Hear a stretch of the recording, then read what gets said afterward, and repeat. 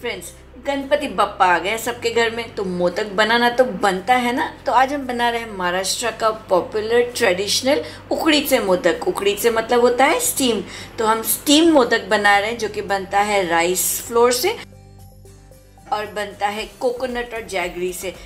और ये आज हम बनाएँगे बिना मोल्ड के, बिना सांचे के। तो चलिए बनाना शुरू करते हैं रुकना किस बात का। तो शुरू करते हैं मोदक का कवरिंग बनाने से, जो कि बनता है चावल के आटे से। उसके लिए हमने लिया एक कढ़ाई और उसमें हमने डाला है एक कप पानी।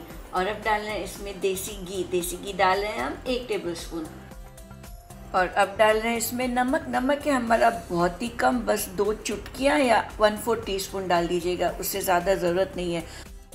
और अब इस पानी में उबाल आने के बाद डालेंगे हम इसमें चावल का आटा। ये राइस फ्लोर है हमारा करीबन एक कप। अब इन सबको अच्छी तरह से मिक्स करना है और जल्दी में घुमाना है। ये घुमाते हुए हमें इस चावल को और इस मिक्सचर को पकाना है। और ये पकाना लेकिन सिर्फ़ एक ही मिनट तक है। उससे ज़्यादा बिल्कुल मत पकाइए, कोई ज़रूरत नहीं है। बस अच्छी तरह से मिक्स हो जाना चाहिए।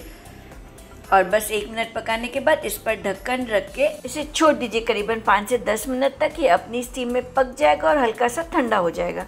तो जब तक ये हमारा चावल का कवरिंग रेडी होता है, चलिए हम बनाते हैं इसका अंदर का स्टफिंग इस मोदक का स्टफिंग बनता है नारियल से और उसके लिए हम ले रहे हैं सूखा नारियल। आप चाहें तो इसमें वैसे फ्रेश नारियल भी ले सकते हैं और उसमें डाली हमने छोटी इलायची। अब इन दोनों इंग्रेडिएंट्स को हमने ग्राइंड करना है, इन्हें पीसना है ताकि फाइन पाउडर बन जाए। ये देखिए, इतना फाइन पाउडर बनना चाहिए। इसकी वैसे अब क्वांटिटी भी कम हो जाएगी। और अब स्टफिंग बनाएँगे इस कढ़ाई में, जिसमें डाल रहे हैं पानी, बहुत थोड़ा सा, बस एक टेबल स्पून पानी डाला और डाला इसमें हमने जैगरी ये जैगरी या गुड़ है हमारा करीबन आधा कप। अब इस गुड़ को हमने मेल्ट होने देना है। वैसे पानी इसलिए डाला था ताकि ये जले ना। अगर आपने गुड़ ऐसे ही डाल दिया बिना पानी के तो इसके जलने के बड़े आसार होते हैं। तो ये देखिए, हमारा गुड़ बिल्कुल ही मेल्ट हो चुका है। इसमें अब हम डाल रहे हैं हमारा कोकोनट और इलायची का पाउडर अब इन्हें अच्छी तरह से करना है मिक्स और इन्हें घुमाते हुए पकाना है। अब हमें, हमने इस मिक्सचर को तब तक पकाना है जब तक कि इसका मॉइस्चर ख़त्म हो जाता है और आपको ये जैसे बाइंड होता हुआ दिखेगा का मतलब ये बन चुका है। इसको लगेंगे करीबन पाँच से छः मिनट और अगर आप ये फिलिंग फ्रेश कोकोनट के साथ बना रहे हैं तो आपको ज़्यादा वक्त लगेगा, करीबन दस से बारह मिनट लग जाते हैं। देखिए, मोदक को इस वक्त अच्छी तरह से पकाना बहुत ज़रूरी है। अगर हमने इसे कम पकाया और इसमें मॉइस्चर रहने दिया तो बाद में मोदक खाते वक्त काफ़ी स्टफिंग के अंदर पानी पानी लगता है, वो अच्छा नहीं लगता है। तो इसे बिल्कुल अच्छी तरह से पकाएगा ये देखिए, ऐसा दिखता है, हमारी फिलिंग रेडी हो चुकी है। चलिए, अब करते हैं आगे का स्टेप तो ये है मोदक के कवरिंग का चावल का आटा जो हमने बनाया था गर्म पानी में।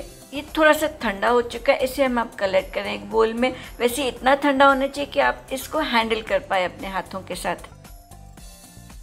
अब इस आटे को हमने अच्छी तरह से गूंदना है। जैसे आप रोटी का आटा गूंदते हैं मसलते हैं बस वैसे ही करना है। और गूंदते हुए इसमें हम डालेंगे और पानी और डालेंगे देसी घी। पानी इसलिए ताकि ये आटा थोड़ा और सॉफ्ट हो जाए और देसी घी इसलिए ताकि इसका जो टेक्सचर है उसमें स्मूथनेस और सॉफ्टनेस आ जाए। तो देसी घी डाल रहे हैं हम दो टेबलस्पून और पानी हमारा गया करीबन आधे कप जितना। ये आटा होना चाहिए इतना सॉफ्ट और स्मूथ ताकि जब आप इसकी लोई बनाए, जब आप इसका मोदक बनाए तो उसमें क्रैक्स नहीं दिखने चाहिए। अगर आपको ऐसे दिखे, ऐसी हार्डनेस दिखे तो आपको और पानी डालने चाहिए। आप थोड़ा सा और घी भी डाल सकते हैं। तो ये देखिए, हमारा आटा रेडी हो चुका है। देखिए, इतनी सॉफ्टनेस और इतने टेक्सचर ऐसे स्मूथ होना चाहिए। तो चलिए, अब बनाते हैं गणपति बप्पा के लिए मोदक। चलिए मोदक बनाने के लिए बनाइए एक छोटी सी लोई और अपने हाथों को कीजिए ग्रीस ताकि आप हाथों से इसे अच्छी तरह से बना पाए। अगर आप पहली बार बना रहे हैं तो आपको बहुत ही छोटी लोई लेनी चाहिए। इसे बनाने की ज़रा प्रैक्टिस करनी पड़ती है, इतना आसान नहीं होता है। तो हमारी तरह इस लोई को प्रेस करती जाइए हाथों से हर तरफ़ ताकि इसके जो डायमीटर है वो बड़ा हो जाए और ये बड़ा सा एक थिक रोटी की जैसे हो जाए। अगर आप इसे हाथों से नहीं करना चाहते हैं तो आप इसे चकले बेलन पे रोल आउट कर सकते हैं, जैसे आप पूरी को रोल आउट करते हैं। वैसे भी बड़ा आसान बन जाता है। इसे आप जितना पतला बना पाए, जितना थिन बना पाए, उतना अच्छा। और अब बनाएँगे हम इस कवरिंग की कलियाँ। ऐसे हमारी तरह सर्कमफ्रेंस की तरफ़ उसे पकड़ के प्रेस करना है और ऑल अराउंड द सर्कमफ्रेंस आप जितनी ऐसी कलियाँ बना पाए, बना दीजिए। ये डेलिकेट होता है। अगर आप इसे बहुत ही रफली हैंडल करेंगे तो ये टूट सकता है और ये आटा बहुत सॉफ्ट होता है। तो ऐसे हमारी तरह कलियाँ बनाते जाइए। तो ये बनाई हमने करीबन नौ कलियाँ और ये हमारा कवरिंग का रेडीनेस हो गया है। इसमें डाल रहे हैं स्टफिंग ये है नारियल और गुड़ का स्टफिंग और इसे डाल के हल्के से प्रेस करके ऊपर की तरफ़ आपको मोदक को बांधते जाना है, बंद करते जाना है। तो ये हमारा पहला मोदक बन गया है। इसी तरह बना देंगे हम बाकी के सब मोदक।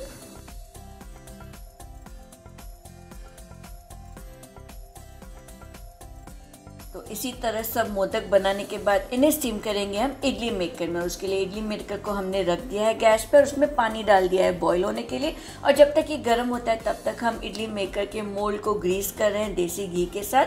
और इसमें रखते जाएँगे हमारे सब मोदक।